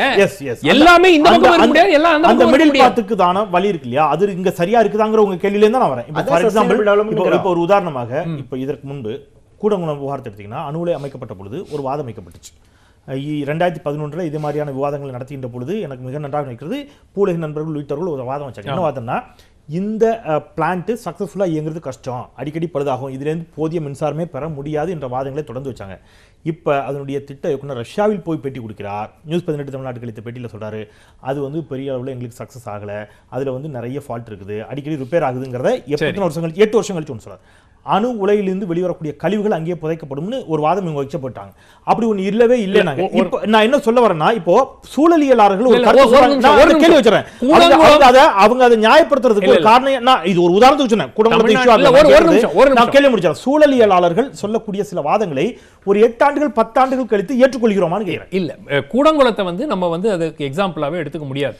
கூடங்குளம் கிட்டத்தட்ட ஒரு இருபத்தைந்து ஆண்டு காலம் தாமதமாகி நட நட- நடைபெற்ற ஒரு ப்ராஜெக்ட் அந்த ப்ராஜெக்ட்ல தவறுகள் இருந்து டிசைன்ல வந்து பிரச்சனைகள் இருந்திருக்கலாம் அதனால அந்த ரியாக்டர் ஆனால் அந்த இந்த பர்டிகுலர் டிசைன் போடக்கூடாது வேற டிசைன் போட்டா பரவாயில்லன்னு யாருமே வந்து போராட்டக்காரர்கள் சொல்லல. இந்த அணு உலை வேண்டாம்னு தான் சொன்னாங்க. இல்ல நீங்க டிசைனை மாத்திருங்க பரவாயில்லன்னு சொல்லவே இல்லை யாரும் சோ நீங்க அது டிசைனை வந்து இது சரியா அஹ், மின்சாரம் சரியாக இது இயங்காது மின்சாரம் போதுமான அளவுல கொடுக்காது. அப்படி அதனால பண்ணிருப்பாங்களா சொல்லல? இப்போ அப்படி சொன்னாங்க ஒரு நிமிஷம். ஒண்ணுதான் வாதம். அதை சொன்னா அக்செப்ட் பண்ணிருப்பாங்களா என்ன? இல்ல இல்ல. நான் என்ன சொல்றேன்? நீங்க மின்சாரம் ஒழுங்கா கொடுத்தா பரவாயில்லையா? அப்போ அந்த இல்ல ஆர்குமெண்ட் அதுவுமே வரலைங்கிறதானே பிரச்சனை? இல்ல செந்தில் அதுக்கு நான் பல ஒரு ஒரு ஒரு picture வந்து கொடுக்கறேன். நான் ஒரு ஒரு நான் ஒரு. ஏன் இந்த கேள்வி நான் வச்சேன்? ஒரு உதாரணத்துக்கு இதை ஏன் காட்டினா அவர் ஒரு வாதம் வச்சார். இயற்கை வெர்சஸ் டெக்னாலஜி அப்படின்னு வைக்கின்ற பொழுது டெக்னாலஜியை முன்வைத்த விஷயங்கள் தோல்வியில் முடிவடைந்திருக்கிறதா? அவங்க அதை ஒரு வாதமா வைக்கிறாங்கிறதுக்காக நான் அதை கேட்டேன். டெக்னாலஜி இப்போ ஒரு நிமிஷம். இப்போ ஒருத்தருக்கு மருத்துவ ரீதியா ஒரு பிரச்சனை வருது. டெக்னாலஜி தானே நம்புறோம். நம்ம என்ன பண்றோம்? நம்ம இல்ல இல்ல அந்த காலத்துல வந்து நம்ம இப்படி இது இது இது பண்ணோம்னு சொல்லி நம்ம போறது இல்ல டெக்னாலஜியை வந்து வாழ்க்கையை மாற்றக்கூடிய தன்மை இருக்கிறது. அதை. முழுமையா புறக்கணிக்க எங்க அதுதான் நான் திருப்பி சொல்றேன். பேலன்ஸ் வேணும். என்வாயரன்மெண்ட் முக்கியங்க. சுற்றுப்புற. நேச்சரை எதிர்த்து நம்மளால போக முடியாது. ஆனால் எல்லாமே வந்து மற்றவருடைய வாய்ப்பையும் கொடுத்துருக்கோம் இசை அரசு இதுல வந்து அஃப்கோர்ஸ் ஒரு ஒரு தற்காலிக தீர்வை விட்டுட்டு நிரந்தர தீர்வை நோக்கி நகரத் தொடங்கினால் புவியியல் புவி வெப்பமயமாதல் புவியியல் இருக்கக்கூடிய மாற்றங்கள் இது போன்ற பல வாதங்கள். அதே சமயத்தில் இன்னொரு பக்கம் வளர்ச்சியும் வேலைவாய்ப்பும் இருக்கக்கூடிய அத்தியாவசியம். அதையும் நம்ம வந்து புறந்தள்ளிட முடியாது. ஸோ இங்கே அது ரெண்டும் சமமாக இல்லை அப்படிங்கிற ஒரு வாதம் வைக்கிறாங்க. இங்கே வளர்ச்சி என்ற பெயரில் அடித்தட்டு மக்கள் பாதிக்கப்படுகிறார்களா? அல்லது வளர்ச்சி அவசியம் அதில் இந்தந்த சிக்கல் இருக்குது அதை சரி செஞ்சுட்டு வளரணுமா? அல்லது வளர்ச்சி யாருக்கானதுன்னு நினைக்கிறீங்க? இல்ல, வளர்ச்சி கண்டிப்பா இருக்கணும். அது அது அது ஒரு இயங்கல் தன்மையில அது ஒரு பரிணாமம் தான். அது ஒன்றும் பண்ண முடியாது. ஆனா அது யாருக்கான வளர்ச்சியா இருக்குதுன்றது தான் கேள்வி. இந்த அடித்தட்டுல இந்த நாட்டினுடைய பூர்வகுடி மக்களுக்கான வளர்ச்சியையும் சேர்த்து உள்ளடக்கி இருக்குதா? இல்ல வெறுமனே கார்பரேட் நலன் சார்ந்து இருக்குதான்றது தான் கேள்வி. அப்ப ஹவுசிங் பாலிசியை யார் எழுதுறாங்கன்னா நான் ஓட்டு போட்டு தேர்ந்தெடுத்த முதலமைச்சரும் பிரதமரும் ஹவுசிங் பாலிசி தீர்மானிக்கிறாங்களா? என்னுடைய கருத்தை கேட்டு தீர்மானிக்கிறாங்களா? இல்ல வெறுமனே வேர்ல்டு பேங்க் சொல்றதை கேட்டு ஹவுசிங் பாலிசி எழுதுறாங்களான்றது தான் கேள்வி. அப்போ என்னுடைய கருத்தை சேர்த்து என்னுடைய வாழ்வை பாதிக்காத அளவுக்கு என் வாழ்வு மேம்படும்படியான ஹவுசிங் பாலிசி தான் வளர்ச்சி தான் வளர்ச்சி. வெறுமனே கார்பரேட்டோட வளர்ச்சி வளர்ச்சி ஆகாது. இப்போ அவர் இன்னொரு கேள்வி கேட்டார். காசு இருந்தால் தண்ணி கிடைக்குது டேங்கர் லாரியில். ஆமா. அப்போ இங்கே தண்ணி பிரச்சனை இல்லை தண்ணீர் பஞ்சம் இல்லை தண்ணி இருக்குது. அது காசு இருந்தால் கிடைக்குமா? அப்படி தான் நிலமை இருக்குதா? ஆமா காசு இருந்தால் தண்ணி கிடைக்கும். காசு இருந்தால் தண்ணி கிடைக்குது. இப்போ க கண்ணை நகர் செம்மஞ்சரில் போனீங்கன்னா நான் அந்த அந்த வீட்டில் இருக்கிறதே நாலு மணி நேரம் அஞ்சு மணி நேரம் தான். அப்போ என்கிட்ட ஐநூறுரூபா இருந்தால் தான் அந்த வீட்டில் அங்கே இருக்க முடியும் உட்கார முடியும். அப்போ நான் ஐம்பது ரூபா கொடுத்து ஒரு வாட்டர் கேன் வாங்கினா தான் தண்ணி குடிக்க முடியும். அப்போ குளிக்கிறதுக்கும் மற்றதுக்கும் வந்து ரெண்டு கிலோமீட்டர் போய் தண்ணி எங்கெல்லாம் சுட்டு சுடுதோ எல்லாம் கேட்டுன்னு வராங்க. சென்னைக்கு வெளியே. இப்போ சென்னையில் ஒரு குடம் தண்ணி எவ்வளோன்னு வாங்குறாங்க மக்கள்? இப்போ வந்து இப்போ நீங்கள் உங்கள் பகுதியில் எவ்வளோன்னு வாங்குறீங்க? எங்கள் பகுதியில் வந்து நாங்கள் வாட்டர் கேன் வாட்டர் தான் யூஸ் பண்ணுறோம் எங்கள் வீட்டு ஹவுஸ் ஓனரமாக வந்து இந்த கீழே அண்டர் கிரவுண்டில் டேங்க் திறந்து பார்த்து தண்ணி இருந்தால் தான் விடுவாங்க. ரெண்டு நாளைக்கு ஒரு முறை தான் தண்ணி விடுவாங்க. அதுவே தினமும் சண்டை. எட்டாயிரம் ரூபா வாடகை கொடுக்குறோம். நீங்கள் என்ன தண்ணி விட மாட்டேங்க நாங்கள் குளிக்கிறது எங்கே போகிறது பிள்ளைங்க ஸ்கூலுக்கு போகிறது எங்கே போகிறது எங்கள் தண்ணி இல்லை என்ன பண்ண சொல்கிற அப்படின்னு கேட்குறாங்க அவங்க நீங்கள் கூட வாடகையில் நாங்கள் மெட்ரோ வாட்டர் தண்ணி வாங்கி நாங்கள் ஊற்ற முடியுமா? அப்படின்னு கேட்குறாங்க திருக்கணர் கேரள முதலமைச்சர் தண்ணீர் தருகிறேன் என்று சொன்னார். ஆனால் நாங்கள் மறுக்கலை. பட் அது போதுமானதாக இருக்குமா அப்படிங்கிறதையும் அது தினசரி கிடைக்குமா அப்படிங்கிறதையும் முதலமைச்சரோடு கலந்து ஆலோசித்து சொல்கிறோம் அப்படின்னு அமைச்சர் சொல்கிறார் பட் அமைச்சர் மறுத்து விட்டார் என்று ஒரு செய்தி வந்து நாங்கள் மறுக்கல அப்படின்னு அமைச்சர் அதற்கு விளக்கம் கொடுக்கிறார். ஆனால் அவங்க கூடுதலாக இன்னொரு கேள்வி கேட்குறாங்க இவ்வளோ அக்கறையாக தண்ணீர் தருகிறேன் என்று சொல்கிறீர்களே முல்லைப்பெரியாருடைய நீர்மட்டத்தை உயர்த்த வேண்டும் என்று ஆய்வுக்குழு சொன்ன பிறகும் அதை ஏன் முட்டுக்கட்டை போடுகிறீர்கள் அப்படின்னு ஒரு கேள்வி வைக்கிறாங்க. அஃப்கோர்ஸ் அங்கே இருப்பது உங்களுடைய இடதுசாரி இடது முன்னணி அரசு.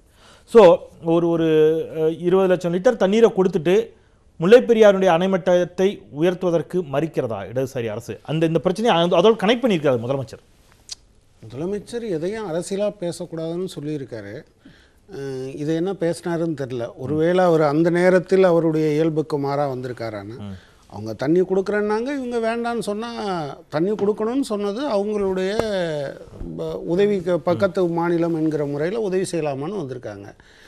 எங்களுக்கு தண்ணியே பிரச்சனை இல்லைன்னு சொன்னதுனால அரசாங்கம் வேண்டான்னு சொல்லியிருக்கு. எனவே அந்த பிரச்சனை அங்கே முடிஞ்சு போச்சு. நான் இங்கே சொல்ல வேண்டிய சில விஷயங்கள் ஒன்று அந்த பதினஞ்சு எம்எல்டி சம்பந்தமான விஷயத்தை பொறுத்த மட்டும் கோ அதாவது அதில் சுயஸுக்கு கொடுக்கணுங்கிறதுக்கான ஒரு முயற்சியை உள்ளாட்சித்துறை அமைச்சர் எடுத்தார். கன்சல்டன்சி சொன்ன இப்போ இருக்கிற எவனும் ஒப்பேற மாட்டான் அப்படின்னு சொன்னதை மீறி அவங்க நடவடிக்கை எடுத்தாங்க. அதுதான் உண்மை. அதனால இப்போ அந்த கோப்ரா மேலே ஏற்கனவே நீங்கள் வந்து எடுத்த கான்ட்ராக்டுகளில் முறைகேடு செஞ்சதாக சிபிஐ விசாரித்து கொண்டு இருக்கக்கூடிய ஒரு நிறுவனத்துக்கு அவார்ட் பண்ணதுனால சுயஸ் போயிருக்கு. இதெல்லாம் இதெல்லாம் டிசைன் எனவே இது அதிகாரிகள் பிரச்சனை இல்லை. நேரடியாக சொல்கிறேன் அமைச்சர் வேலுமணியோட பிரச்சனை. அவர் இப்போ தமிழ்நாடு முழுவதும் எல்லா இடத்திலும் இதை வணிகமயமாக்குவதற்கான ஒரு முயற்சியை ஏற்படுத்துகிறார். அதில் ஒரு பகுதி தான் இப்போ தனியார் மயம். என்ன காசு கொடுத்தா தண்ணி வருதுன்னா இருபத்தி நாலு மணி நேரம் கழிச்சு தாங்க வருது. த சென்னை நகரத்தில் இருக்க அத்தனை பேரும் டேங்கர் லாரிக்கு ஃபோன் பண்ணீங்கன்னா அவ்வளோ டேங்கர் லாரி வர்றதுக்கு இடம் இருக்காது. எனவே இந்த மாதிரி பேசுகிறது இருக்குல்ல. இதை அவன் ஒரு கிணறு வச்சுருப்பான் கேட்டால் கொண்டாந்து கொடுப்பான் அதுக்கு இருபத்தி நாலு மணி நேரம் உங்களுக்கு ஆகுதுங்கிறது ஒரு யதார்த்தமான சூழ்நிலை. எனவே நீங்கள் இந்த மாதிரியான வாதங்கள் திரும்ப திரும்ப வைக்கப்படும் போது ஏங்க நம்ம ஊரில் ஆற தனியார் மயமாக்கிட்டாங்க நம்ம நாராயணன் சாருக்கு தெரியும். அது வேறு ஊர் ஆனால் அங்கேயும் பாஜக தான். சத்தீஸ்கரில் தான் முதல் முதல் சிவநாத்னு ஒரு ஆறை இருபத்தோரு கிலோமீட்டர் தூரத்துக்கு தனியாருக்கு கொடுத்துட்டாங்க. இது மாதிரி இந்தியா முழுவதும் தனியாருக்கு கொடுக்கப்பட்ட ஆறுகளை இயற்கை வளங்களை தனியாருக்கு கொடுப்பது என்பதனுடைய ஒரு பகுதி இதுக்குள்ளேயே அடங்கியிருக்கு. இல்லை இப்போ நீங்கள் வை- நீங்க- நீ- நீங்க வைக்கின்ற பொழுது ஒரு ஒரு செயற்கையாக வணிகத்திற்காக அமைச்சர் செய்தார் என்று வேலுமணி மீது நேரடியாக ஒரு குற்றச்சாட்டு. Yes. நான் கேட்கறது ஒரு செயற்கையாக தண்ணீர் பற்றாக்குறை உருவாக்கப்பட்டு அல்லது இயற்கையாக உருவாக்கிய உருவாகின தண்ணீர் பற்றாக்குறையை அடுத்த கட்டத்திற்கு எடுத்துச் செல்வதன் மூலமாக.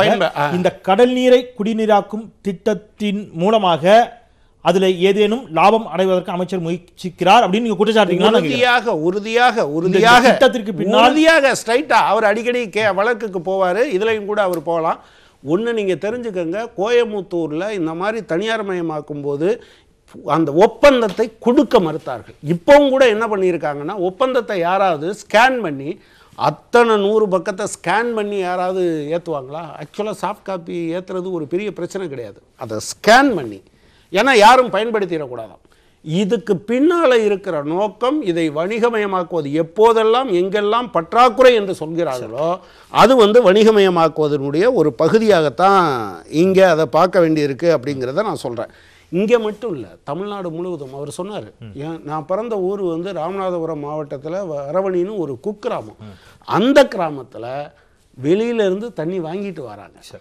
இதை இதை இதை பழக்கப்படுத்துவதும் அதுக்குள்ளே இருக்குது இப்போ உங்களுக்கு தெரிஞ்சு பொது க- குழாய்கள் எல்லாத்தையும் நீங்கள் அட்வர்டைஸ்மெண்ட் வருது. ஒரு காலத்தில் கிராமப்புறத்தில் நீங்கள் கிணத்தண்ணியை பயன்படுத்திக்கிட்டு இருந்தாங்க குளத்தண்ணியை பயன்படுத்திக்கிட்டு இருந்தாங்க. அதில் அந்த தூசி இருக்குது இந்த தூசி இருக்குது செக் பண்ணாமலே சொல்லி இப்போ என்னன்னா பொது குழாய் என்பது எந்த இடத்துலையும் இல்லை. இப்போ கூட சொல்லும்போது அரசியலாக தானே வருது. எது வருது? கட்டாயமாக ஏராளமான தண்ணீர் தேவைன்னா யாருக்கு நிப்பாட்டணும்? அஹ், டாஸ்மாக்குக்கு அந்த அது பேர் என்ன? சாராயம் தயாரிக்கிறதுக்கு இருக்கிறதெல்லாம் நிப்பாட்டணும். பட் கொக்கோ கோலா நான் இப்போ சார் சொன்னாங்க அதாவது நீங்கள் தாமிரபரணியில் தெரியும். தாமிரபரணியில் கடைமடை பகுதியிலேருந்து தான் ஸ்பிக்குக்கு உட்பட அந்த டுவெண்ட்டி எம்ஜிடி இருபது million gallon litres per day எடுத்துக்கிட்டு இருந்தாங்க. இந்த ஏடிஎம்கே கவர்மெண்ட் வந்து என்ன பண்ணாங்கன்னா அப்படி வரும்போது விவசாயிகள் எடுத்துக்கிறாங்கங்கிறதுக்காக இந்தியாவில் வேற எங்கேயும் இருக்கான்னு தெரியல. தாமிரபரணி ஆற்றின் குறுக்கே அந்த ஸ்ரீவைகுண்டம் அணைக்கு உள்ளே இருந்து நீங்கள் எப்போதுமே தண்ணியை அப்படியே உறிஞ்ச மாட்டாங்க. இந்த ஃப்ளோரா ஃபானான்னு சொல்கிறாங்களா பூச்சி போட்டுலாம் அழிஞ்சு போகுங்கிறதுக்காக. ஏன்னா நீங்கள் நிலத்தடி நீர் So- so நீங்க நீங்க டாஸ்மாக சொல்றாங்க பெருநிறுவனங்களுக்கு எல்லாம் சேர்ந்து. அப்படி வரும்போது அதுல ஒரு இன்ட்ரெஸ்ட் மறைஞ்சிருக்கு. இது வந்து எமோஷனலா கவி பிடிக்கும். Okay. ஆனா நீங்க கொக்கோ கோலா தாமிரபரணியில கொக்கோ கோலா கொடுக்குறாங்க நீங்க நிப்பாட்டுங்கன்னா நிப்பாட்ட மாட்டேன்றீங்களா? குடிநீருக்கு அவசியம் என்றால் அது ஒப்பந்தம் போட்டிருக்கோம். முடியாதுன்னு சொல்ல மாட்டேன்றீங்களா? இந்த மாதிரியான விஷயங்கள் நீங்க எல்லா இடத்துலையும் நடக்குது ஆக்சுவலா நாராயணன். இல்லை இப்போ இந்த தொலைநோக்கு அப்படின்னு அவர் பேசின விட்டு செல்வன் பேசுனதுனால சொல்கிறேன் பாரிஸ் அக்ரிமெண்ட் பற்றி அவர் சொன்னார். அந்த பாரிஸ் அக்ரிமெண்ட்டில் என்னெல்லாம் இந்தியா ஒத்துக்கொண்டிருக்கிறதோ அனைத்து நாடுகளும் சேர்ந்து என்ன ஒப்புக்கொண்டதோ அது குறித்து நாம் இந்த அரசாங்கம் பாஜக அரசாங்கம் தெளிவாக பல விஷயங்களை செய்து வருகிறது. அது ஒரு டிபேட்டபிள் இது முடியுமா? ஏன் வந்து நாம் சொன்ன நேரத்தில் செய்ய முடியல? அப்படின்லாம் இருந்தால் அது ஏன் முடியல? டிபேட் பண்ணலாம் தவறில்லை. ஆனால் அந்த இலக்கை நோக்கி பாஜக அரசு சென்றிருக்கிறதா என்றால் உறுதியாக சென்றிருக்கிறது. அது குறித்து நான் பேசும்போது தான் இந்த மாட்டினுடைய பால் தரும் மாடுகளினால் உமிழப்படும் மீத்தேன் வாயு. அது குறித்து நாம் பேசுகிறோம் ஆனால் யாருமே இங்கே அதை பற்றி பேசுறது இல்லை. அது பேசினாலும் அது கிண்டலும் நக்கலும் கேலியுமா பார்க்குறாங்களே தவிர அதை உண்மை என்று யாரும் ஏற்றுக்கொள்ள மறுக்கிறார்கள். அது தவறான விஷயம். அதே மாதிரி நிலக்கரி ஆகட்டும் பெட்ரோல் டீசல் ஆகட்டும். இப்போ சத்தீஸ்கர் பற்றி ஒரு விஷயம் சொன்னார். கனகராஜ் ஏற்கனவே வேற ஒரு தொலைக்காட்சியில் ரெண்டு வருஷத்துக்கு முன்னால் மூணு வருஷத்துக்கு முன்னால் அதை பற்றி பேசினோம். அது இல்லை என்று மறுத்தேன். மத்திய பிரதேசாக இருந்த பொழுது அந்த அந்த ஆறு கொடுக்கப்பட்டது அதன் பிறகு பாஜக அதை மீட்டெடுத்தது அதற்குண்டான இணைப்பையும் உடனடியாக அன்னைக்கே நான் கனகராஜுக்கு அனுப்பிச்சேன். திருப்பி மூணு வருஷம் கழிச்சு. இல்ல ஒரு நிமிஷம். நிமிஷம். அவரிடம் நான் மன்னிப்பு கோர தயார். அவர் எடுத்து ரத்து அனுப்புறேன். பண்ண சம்பந்தமா எடுத்து செந்தில், காமிக்கட்டும். செந்தில் நான் அனுப்புறேன். ஒன்றும் பிரச்சனை இல்லை. இவர் எவ்வளவு டென்ஷன் ஆக வேண்டாம். இல்ல இல்ல பொய்யா சொல்லும் போது இல்ல இல்ல என்னிடமே. காண்பித்ததாக பொய்யா சொல்லும் போது நான். உங்களுக்கு லிங்க் ஐ சேலஞ்ச் இப்ப இல்ல எப்ப. வேணாலும் சரி எந்த டிவில வேணாலும் சரி அவர் சொல்லட்டும் செந்தில் நானும் சேலஞ்ச் பண்றேன். அதை வந்து நான் மறுக்கிறேன். நான் உண்மையா கண்டிக்கிறேன். பல முறை பேசியாச்சு. நான் ரெண்டு பேருக்கு காலையில ஒண்ணு சொன்னேன் அதே தான் சொல்லிடுறேன். இல்ல நீங்க உங்க உங்க சமூக வலைதளங்கள்ல உங்களுக்கான ஆதாரங்களை பேசுங்க, மக்கள் பார்த்துப்பாங்க பிரச்சனை ஓகே இல்ல, இது இஷ்யூ பேசு. இங்கே இங்கே பொறுத்த வரையிலும் நாம் உறுதியாக சில நடவடிக்கைகளை எடுத்தாக வேண்டும். நீர்நிலைகள் என்பது அழிக்கப்பட்டிருக்கிறது. நீங்கள் திருப்பி திருப்பி நீர்நிலைகள் இல்லாத ஒன்றும் செய்ய முடியாது. Desalination plant is pros and cons இருக்கு சாதக பாதக அம்சங்கள் இருக்க தான் செய்யுது ஆனால் நீர்நிலைகள் அழிக்கப்பட்டிருக்கிறது. கோர்ட் உத்தரவு கொடுத்தும் கூட அந்த இடங்களை வந்து நம்மால ஏன் கிளியர் பண்ண முடியலன்னா அதற்கு தமிழ்நாட்டில் இருக்கிற அனைத்து கட்சிகளும் அரசியல்வாதிகளும் அதிகாரிகளும் காரணம். சுமன். செந்தில் ஒரே ஒரு மிக முக்கியமான விஷயம். எதுவா இருந்தாலும் நம்ம ஆக்கப்பூர்வமாக என்ன செய்ய வேண்டும் அப்படிங்கிறது தான் மெயின் ஃபோக்கஸ் ரெண்டாவது நீங்க இந்த க- எதிரிகளையே தேடிட்டு இருக்கோம் எப்பவும். கார்ப்பரேட் தான் எல்லாம் அடிச்சுட்டு போயிட்டாங்க. சாராய கம்பெனி ஃபேக்டரி தான் எல்லாத்தையும் அடிச்சுட்டு போகுது. அதிமுக என்ன செஞ்சுச்சு? திமுக என்ன செஞ்சுச்சு? இதுலயே நம்ம விவாதம் பண்ணிட்டு இருக்கிறது? ஒரு நிமிஷம் ஒரு நிமிஷம் ஒரு நிமிஷம் நான் முடிக்கிறேன். ஒரு நிமிஷம் நான் ஒரு நிமிஷம், ஒரு நிமிஷம். இல்ல, ஒரு லிட்டர் இருபது லிட்டர் வாட்டர் யூஸ் ஆகுது. ஒரு மாசம் ஒரு ஒரு கார் ஒரு- இல்ல? ஒரு நிமிஷம். இல்ல இல்ல. ஒரு நீங்க ஒப்பந்தம் போட்டிருக்கோம் அரசு வந்துன்னு சொல்றாங்க இல்லையா? இது வந்து ஒரு தொழிற்சாலை தமிழ்நாட்டுக்கு கொண்டு வருதுங்கிறது போட்டி நடக்குது. எல்லா மாநிலங்களும் போறாங்க. தமிழ்நாட்டுக்கு வர ஃபேக்டரி வந்து நிச்சயமா அவன் வாட்டர் சோர்ஸ் சப்ளை சோர்ஸ் கேட்பான். அரசு வந்து உத்தரவாதம் கொடுப்பாங்க. சோ இது எல்லாமே வந்து மக்கள் விரோத செயல் அப்படின்னா. உங்களுக்கு வேலை வாய்ப்பை உருவாக்க முடியாது. இருங்க. சார் நான் முடிச்சிடுறேன் செந்தில். தண்ணீர் எப்படி இருங்க. ஆமாங்க ஆமாங்க ஆமாங்க. ஆமாங்க. கைக்கூலி கைக்கூலி ஒரு நிமிஷம் இருங்க. இல்ல இல்ல ஒரு நிமிஷம். இல்ல ஒரு நிமிஷம். அதை நீங்க ட்விட்டர்லயும் போடுவீங்க. ஒரு நிமிஷம். மிக முக்கியமா ஒரு நிமிஷம் இருங்க. அதாவது அதாவது வளர்ச்சி என்பது இயற்கையினுடைய ஒத்து போக வேண்டிய வளர்ச்சி மாற்று கருத்து இல்ல. ஆனால் நீரை பொறுத்த வரைக்கும் எப்படி இன்க்ரீஸ் பண்ண அளவான பார்க்கணுமே தவிர. இவர்கிட்ட இருந்து எடுத்துடலாம். அவர்கிட்ட. இருந்து நம்ம- லாஜிக் okay, okay. நான் அஹ், விருந்தினருடைய முடிவுக்கு விடுறேன். நம்ம நிறைவு செய்ய வேண்டிய நேரத்தை தாண்டிட்டோம். உங்க இரண்டு பேருடைய நிறைவு கருத்தை கேட்க முடியாது. கேட்கணும்னா நம்ம இடைவேளைக்கு பிறகு ஐந்து நிமிடம் கேட்கணும். இல்லைன்னா நம்ம நிறைவு செஞ்சிடலாம். நிறைவு செய்யலாம். நன்றி. ஆறுவருக்கு ஆறு பேருக்கும் நன்றி. பார்த்த நேர்களுக்கும் நன்றி சொல்லி நம்ம அந்த அளவிலேயே நம்ம நிறைவு செய்யலாம். ஏதோ இடத்துல தண்ணீர் பிரச்சனை இருக்குது அப்படிங்கிறத முதல்ல வந்து அரசு ஏற்றுக்கொள்ள வேண்டும் அப்படிங்கிற கருத்தை வச்சிருக்கிறாங்க. ஸோ ஏற்றுக்கொண்டால் மட்டுமே அதற்கான தீர்வை கொடுக்க முடியும். ட்விட்டரில் நம்ம வைத்திருந்தோம் கருத்துக்களை கேட்டிருந்தோம் மக்கள்கிட்ட. ட்விட்டரில் மக்கள் என்ன சொல்லியிருக்காங்க அப்படிங்கிறத பார்க்கலாம். தண்ணீர் தட்டுப்பாட்டை சமாளிக்க தமிழக அரசு எடுக்கும் முயற்சிகள் எப்படி உள்ளன அப்படின்னு கேட்டிருந்தோம். சக்திக்கு உட்பட்டவை என்று ஐந்து விழுக்காட்டினரும் திருப்தியாக உள்ளன என்று ஆறு விழுக்காட்டினரும் தீவிரப்படுத்த வேண்டும் என்று பத்தொன்பது விழுக்காட்டினரும் திருப்தியாக இல்லை என்று எழுபது விழுக்காட்டினரும் பதிவு செய்திருக்கிறார்கள். அந்த மக்களின் குரலுக்கும் மதிப்பளித்து நிறைவு செய்யலாம். இது காலத்தின் குரல் என்றும் குரலற்றவர்களின் குரலாய் நான் செந்தில். நன்றி.